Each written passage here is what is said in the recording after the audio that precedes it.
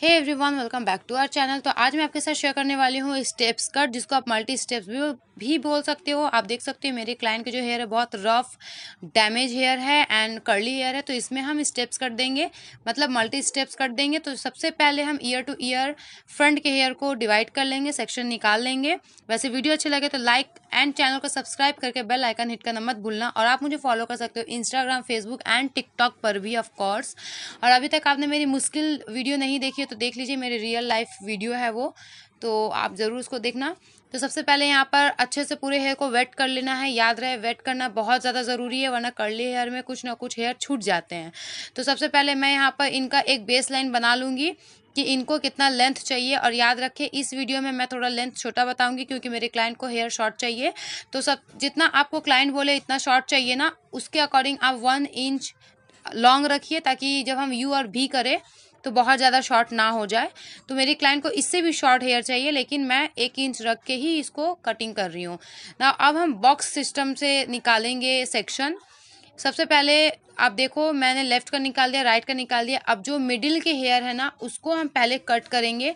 और ये कटिंग बहुत ब्यूटीफुल लगता है। ये कटिंग आप किसी भी लाइट हेयर में देख सकते हो लाइक बहुत लोगों के हेयर जो थिन होते हैं उसमें दो थिक हेयर में तो बहुत ब्यूटीफुल लगता ही है प्लस आपको अगर थिन हेयर में करते हो तो भी ये बहुत ब्यूटीफुल लगता है। तो इस तरीके से मैंने ए, एक बेस लाइन बना लिया था नीचे। इसके बाद मैं एकदम सीधा 90 डिग्री ले जाऊँगी हेयर को सारे हेयर को और जो हेयर छूट रही है वो कोई प्रॉब्लम नहीं है छूट जाएगी एंड हमें बेस लाइन मिल जाएगा। आप देखो एक बेस लाइन मिल गया उसके अकॉर्डिंग हम ऊपर के हेयर को कट कर देंगे। ये देखिए, यहाँ पर देख सकते हैं आप कितने सुंदर से कटिंग हो गया है। अब हमें एक बार चेक करना है और फिर से हेयर को कट करना है बिकॉज़ इनको थोड़ा सा यू नो लेयर में चाहिए स्टेप्स कट इसीलिए हम कहते हैं मल्टी स्टेप्स फिर से हम कॉम करेंगे और जो हमारे एकदम नीचे के हेयर रहेंगी ना, जो छूट रही है, देखिए मैं पकड़ ली हूँ, उसे हमें एज अ बेस लेना है। और उसके अकॉर्डिंग पूरे हेयर को कट कर देना है। खुद ब खुद बहुत अच्छे से डिज़ाइन बन जाता है। इसी को बोलते हैं स्टेप्स कट वैसे वैसे मुझे आप इग्नोर करना। यहाँ पर आप देख सकते हो बेस लाइन आपको दिख रहा है। तो मुझे आप बिल्कुल इग्नोर करना बिकॉज़ मेरी तबीयत थोड़ी ख़राब चल रही है। मेरे फेस भी देख के आप समझ रहे होंगे। और बहुत ज़्यादा टायर्ड भी हूँ बिकॉज़ पार्लर में थोड़ा सा काम भी ज़्यादा है। क्लासेस वगैरह। तो इस तरीके से हम छोड़ेंगे ना, ये देखिए कटिंग कितनी ब्यूटीफुल कटिंग बैठ रही है। अभी सिर्फ़ एक सेक्शन का हुआ है, वो भी मिडिल का। अब हम इस तरीके से बेस निकाल लेंगे। ये देखिए, यहाँ पर मैंने बेस निकाल लिया। अब इसके अकॉर्डिंग हम इस तरफ़ के हेयर को कट कर लेंगे। और सेम प्रोसेस से हम उस तरफ़ के हेयर को भी कट करेंगे। इसे कट जो है बहुत ब्यूटीफुल लगती है। मेरी क्लाइंट भी काफ़ी हैप्पी हो गई थी अपने कटिंग से। और देखिए, इस सेम तरीके से ही मैं कॉम कर रही हूँ और बेस जब आप पकड़ लेती हो तो आपको फिर उतना ज़्यादा ज़रूरत नहीं पड़ता। ये देखिए, यहाँ पर बेस आपको दिख गया ना, आपको ईजिली दिख रहे होंगे मेरे हाथों को देखिए। अब उसी के अकॉर्डिंग हम हेयर को कट कर लेंगे और सीधा सीधी हमें नाइन्टी डिग्री में कट कर देना है। इसका और थोड़ा, ये एकदम ईजी तरीका है, थोड़ा टफ तरीका है कि पहले आप फोर्टी फाइव डिग्री लो, फिर नाइन्टी डिग्री लो, फिर वन थर्टी फाइव लो। बट मैं बोलूँगी डायरेक्ट आप वो, आप नाइन्टी डिग्री ले लो सारे हेयर को एक साथ। अगर आप एक साथ नहीं पकड़ पा रहे हो तो दो सेक्शन में आप डिवाइड करके भी कर सकते हो।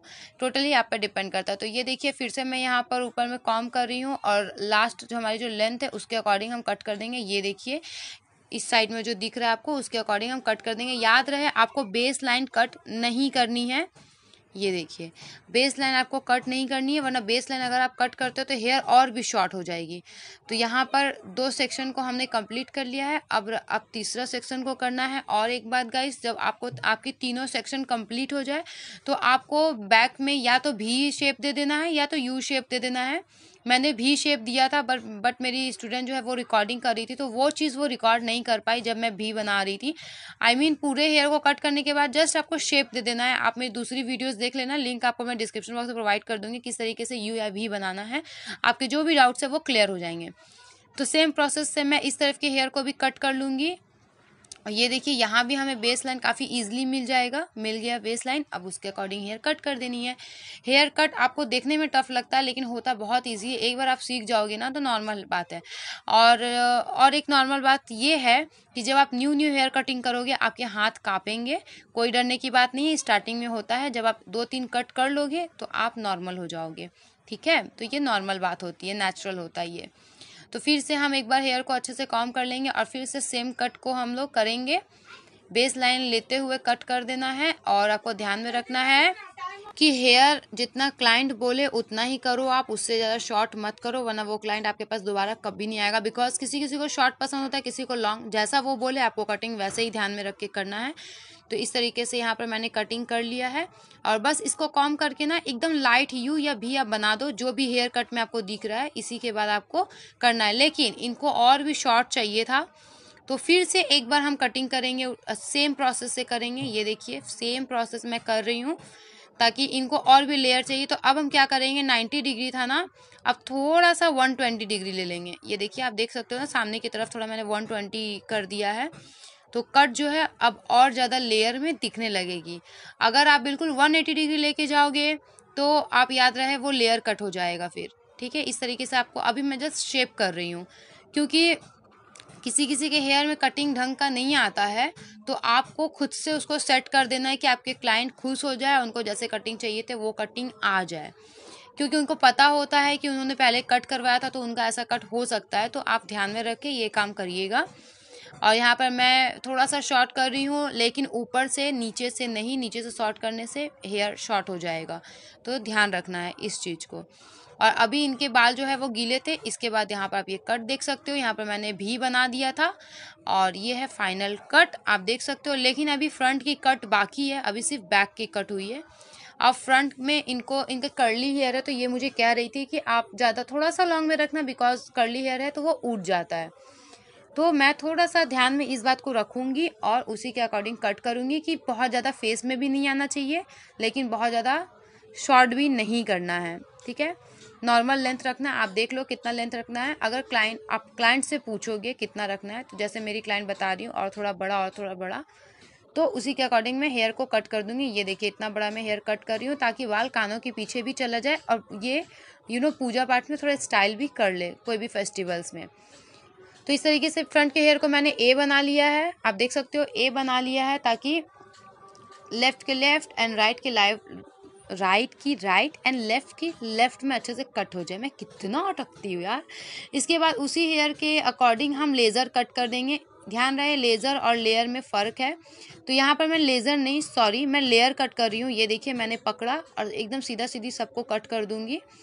तो ये लेयर मैं दे रही हूँ बिकॉज़ इनकी हेयर जो है वो शॉर्ट है। लेज़र में हेयर थोड़ी लॉन्ग में कटती है। तो मैं लेयर इसलिए कर रही हूँ ताकि थोड़ा शॉर्ट में हो।